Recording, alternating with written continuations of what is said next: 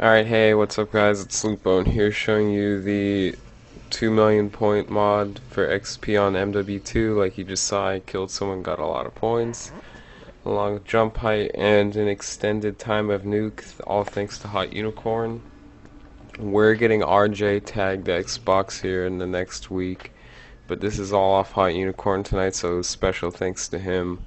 But we're getting our JTAG in about a week, and we're going to be doing quite a bit with that and we'll be spreading it to the public as well. This right here, this is only private use right now until next week when we spread it to the public. So uh, I'd appreciate it if you subscribed because we'll be spreading it to a lot of people and uh, it's going to be quite a few funny mods and a, quite a few crazy mods. So I'd appreciate it if you subscribe because if you do that, you'll be around to see the crazy stuff come out. So uh, yeah, hope you all enjoy. Sit back and watch.